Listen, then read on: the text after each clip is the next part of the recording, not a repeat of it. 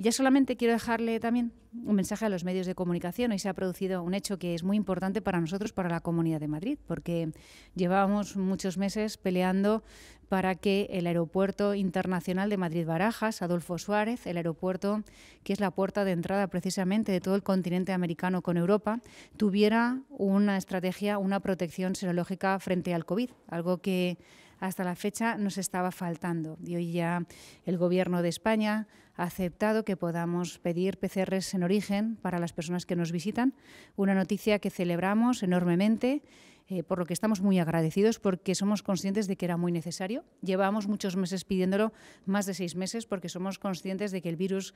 fue como entró en Madrid y de ahí al resto del país, al resto de la península.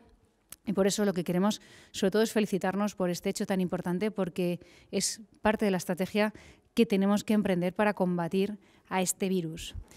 El virus empezó de así de esta manera. Nosotros consideramos que, aunque bien llega tarde. Es un hecho muy importante, es muy positivo.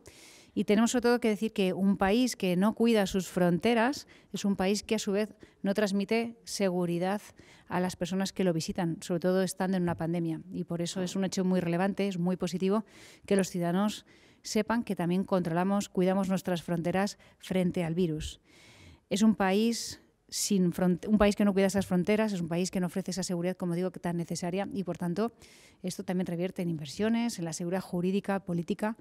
que tanto necesita cualquier país cuando necesita traer emprendimiento y proyectos. Por tanto, después de tanto tiempo peleándolo, después de estos meses, hoy podemos estar muy satisfechos por el paso que ha dado el Gobierno y estamos convencidos de que el siguiente paso, los test en las farmacias y en otros puntos, nos ayudarán a seguir combatiendo este virus y defendiendo el mensaje que siempre hemos mantenido desde este Gobierno, que la salud y la economía no están reñidos, que tenemos que aprender a convivir con el virus y con medidas sensatas y quirúrgicas vamos a conseguir que poco a poco el virus desaparezca, que nuestra economía florezca nuevamente